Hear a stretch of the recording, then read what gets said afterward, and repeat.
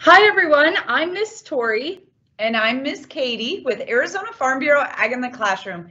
And we are so excited to see you all again. This is the last time that we're going to see you this school year, which makes us a little bit sad. But we are glad that you joined us today for this very exciting presentation called Right This Very Minute. So what are we going to talk about today, Miss Tori? Well, as always, we're going to learn about our favorite thing. Do you remember what that was? Agriculture, right? And if you were here for our last two presentations, you know that agriculture is everything to do with our farmers and ranchers and what they do every single day. So if you remember, we talked about ranchers as cowboys or cowgirls, and we said that they take care of three different animals. Real quickly, can you think of one of those three different animals?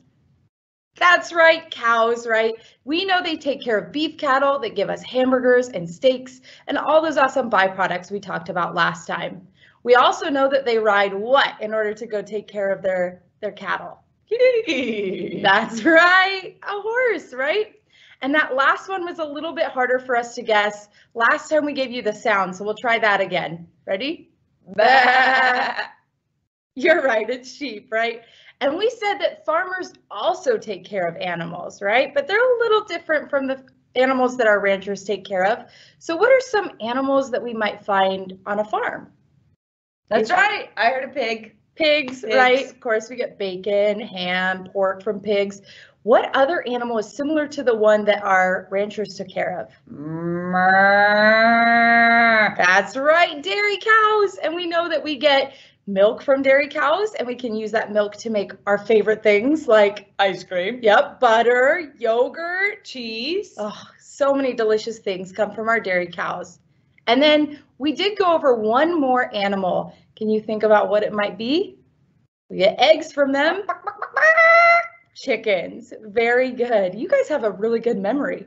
And we are going to talk about not only the animals that farmers raise, but also something that they grow. What do you think that farmers grow? Do you remember?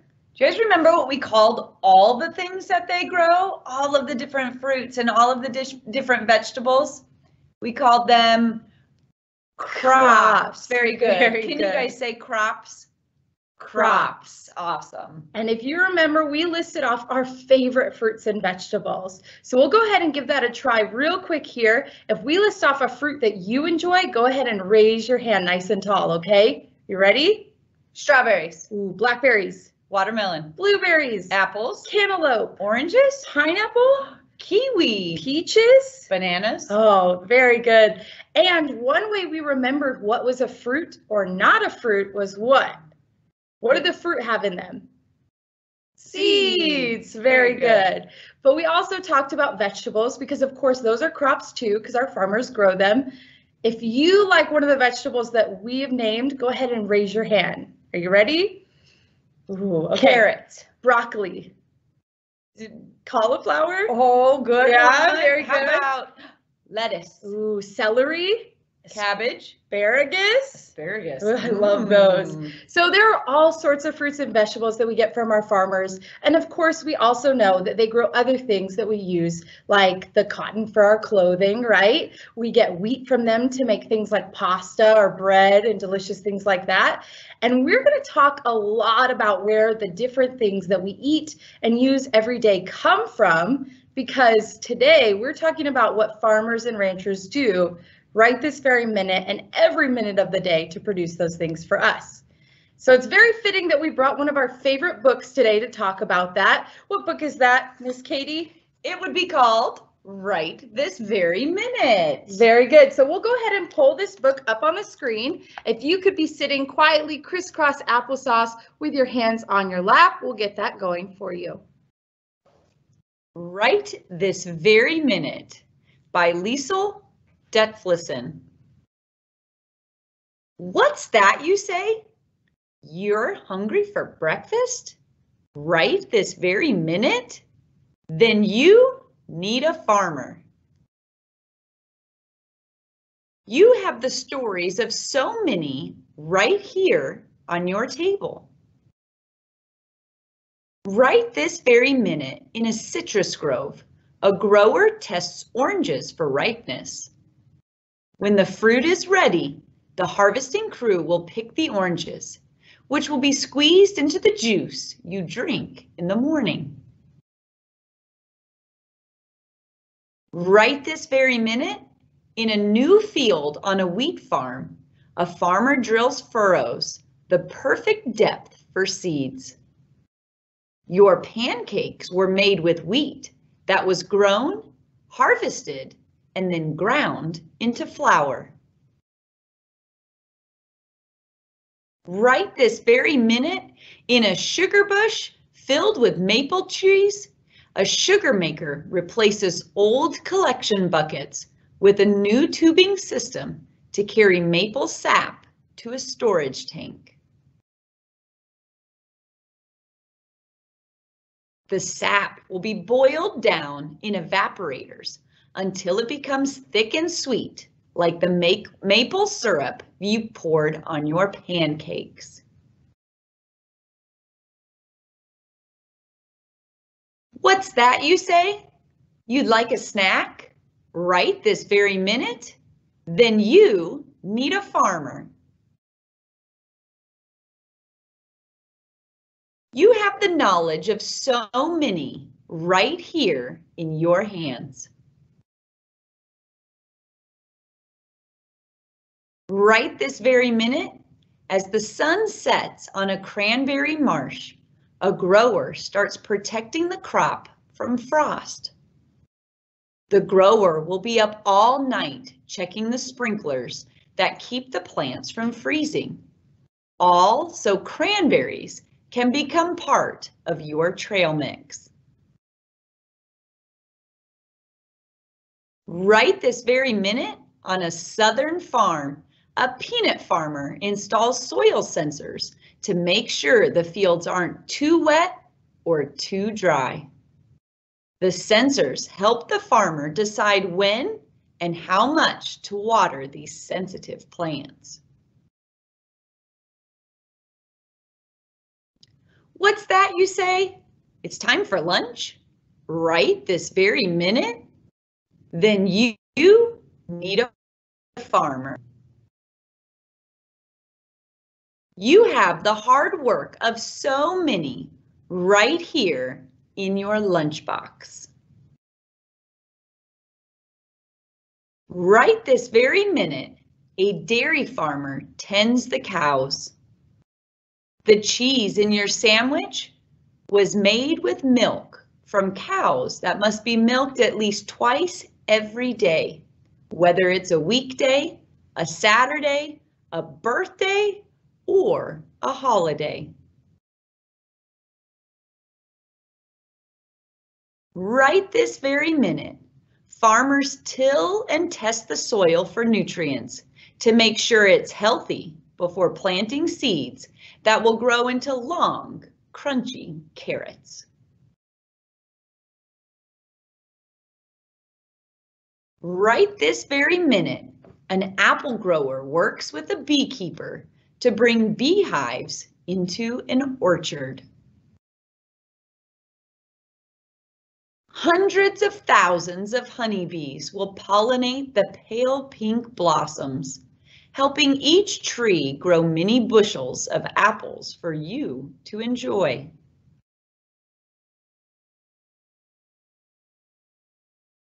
What's that you say?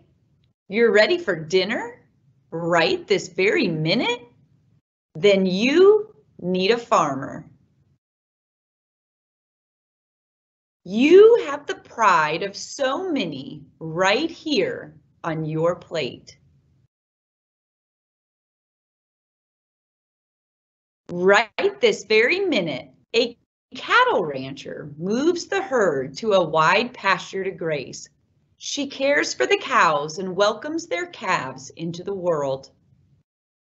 When the calves are old enough, they will move to new pastures or feed yards before they are harvested for the beef that will be made into hamburgers.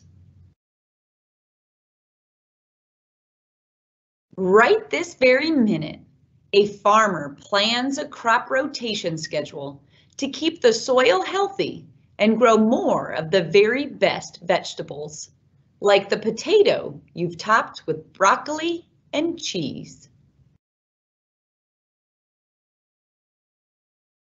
Right this very minute, some farmers prepare produce for delivery to grocery stores and others box it up to sell at local farmers markets.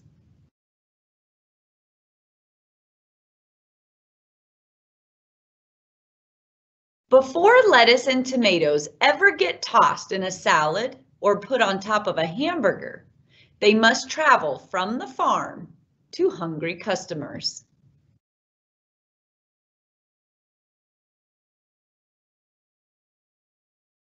What's that you say? You'd like dessert? Right this very minute? Then you need a farmer and sometimes a whole farming family. You have the dedication of so many right here on your fork. Right this very minute, a grower checks the weather forecast in a family-owned strawberry patch while workers help hundreds of visitors pick their own strawberries.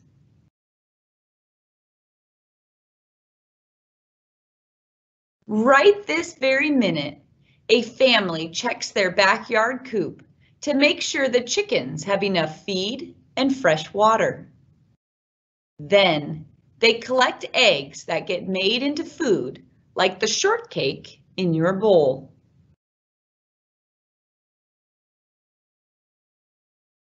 What's that you say? You want to grow your own food? Right this very minute? Then you need to think like a farmer. You can help plant a garden right here in your community. Right this very minute, you and your friends, family, and neighbors can work together to choose which crops to grow in your gardens.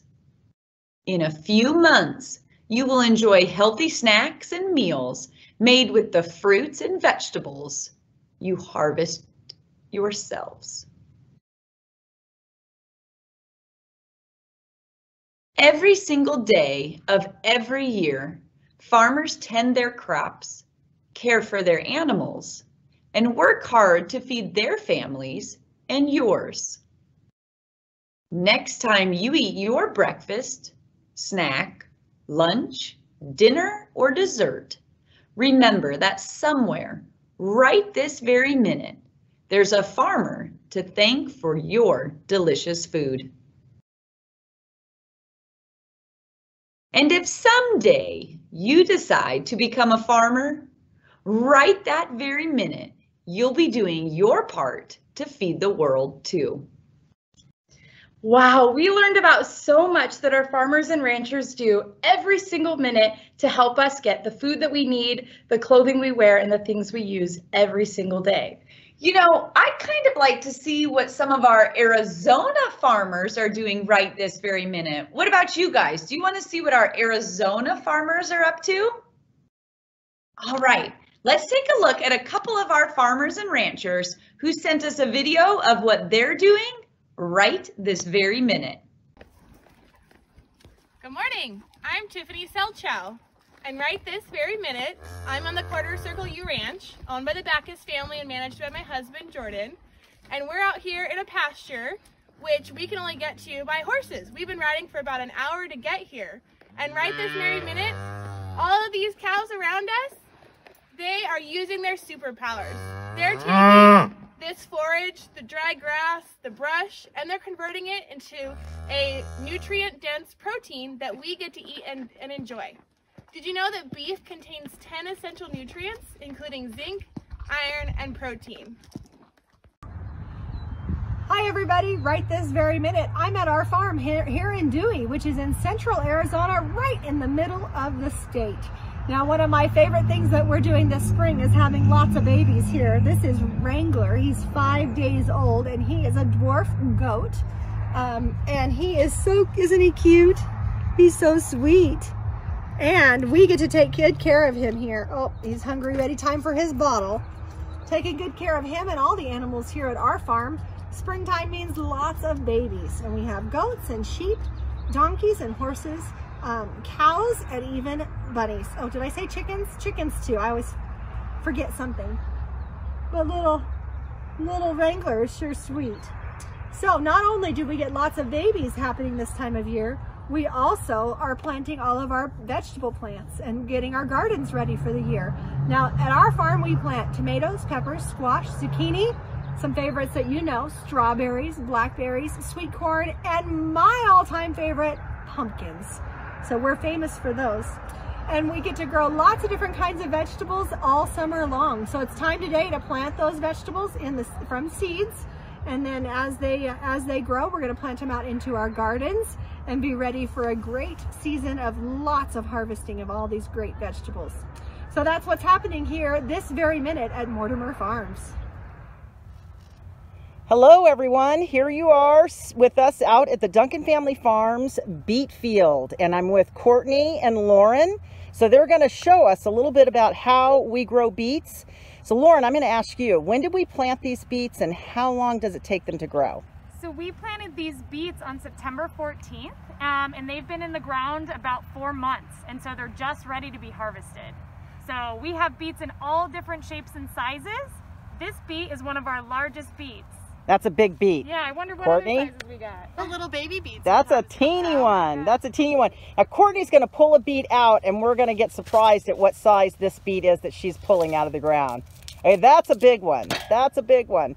So you can see all the green tops are when you're in the grocery store and you see a bunched beet, all the green in the field is the tops and then the beet that we, the portion that we eat is that root portion of the crop. We can also eat the greens too. The greens are good for you. And look, Lauren just cut it. Look at how pretty the inside. These are called Badger Flame beets. Gorgeous. Look at So that there's color, your guys. beet lesson for the day. Thanks, Thank Lauren. you. Thanks, Thank you, Courtney. Thank you. You guys have a great day. I'm Mark Rovey with Freetime Farms, and right now I'm out checking the cows and the calves. And what I'm looking for is any calves that just don't look like they're feeling that good. If their ears are droopy or their eyes aren't quite bright or they just look like something's wrong with them because the calves can't come up and tell us when they're sick. So we have to pay real close attention, watch them every day. So if we see one that doesn't look right, we can give them the antibiotics or the medicine that they need before they get sick and it causes a, a month long or two month long sickness that'll really hurt them in the end. If we can catch them the first day that they're starting to not feel good, give them a little bit of medicine, then they go right back to how they're supposed to be. So we just walk around and look at all the calves and make sure everything looks like they've been eating and, and drinking and mm. that everybody looks healthy.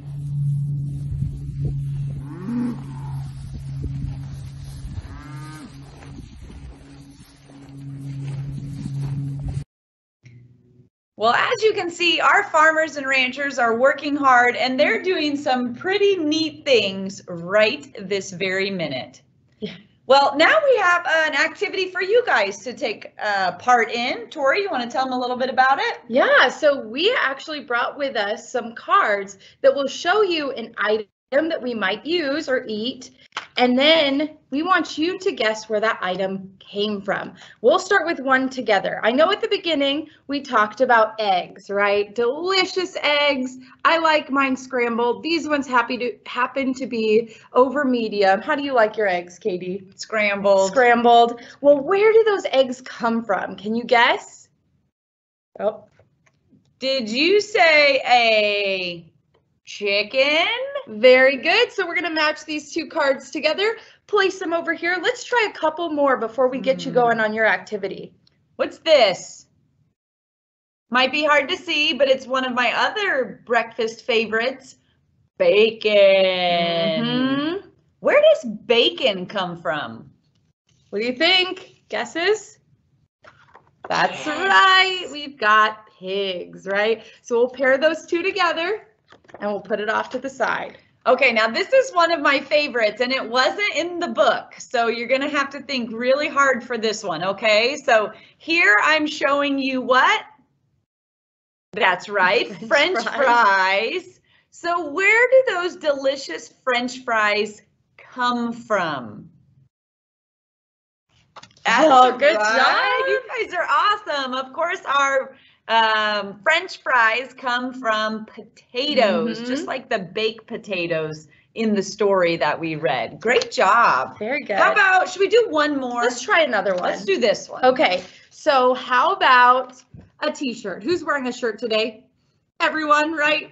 So, well, you might be wearing a dress, but in any case, I bet it was made from the same material. So what do you think we use to make t-shirts?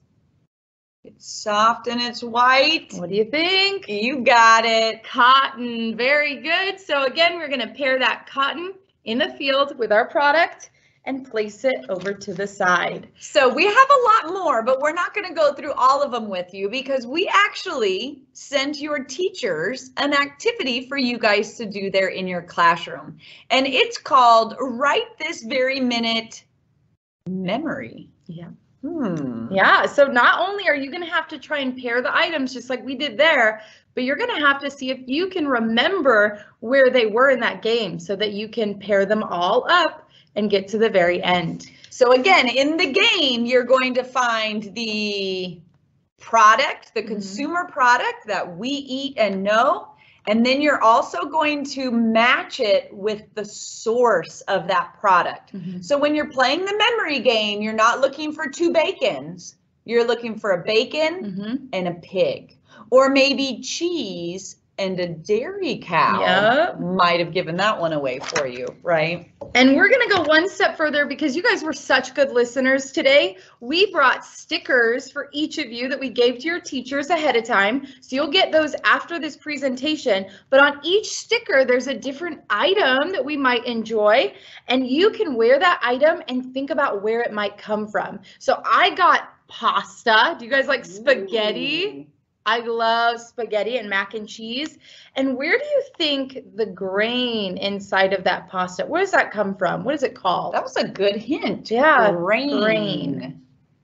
That's right. Our pasta is made from wheat, which is Mhm. grown by our farmers right this very minute. Mhm. Now, I happen to get my favorite food on my sticker. I'm not really sure how this worked It out. It's a lucky day for me. But can anybody tell me what this is? That's Ice right. cream. It's an ice cream cone. So where does that delicious cookies and cream ice cream come from? That's right. It's made from the milk from our dairy cows that are being cared for every day by our Arizona farmers. Very good. So you'll get those. And who liked the book that we read today? Oh, yeah. I'm glad you did because we actually left one of these books with each of your teachers. So you'll have it to keep as part of your classroom library and you can go back and visit the story again. Well, we enjoyed very much visiting with you today and talking about all the things our farmers and ranchers do right, Right this, this very, very minute. minute. Yes.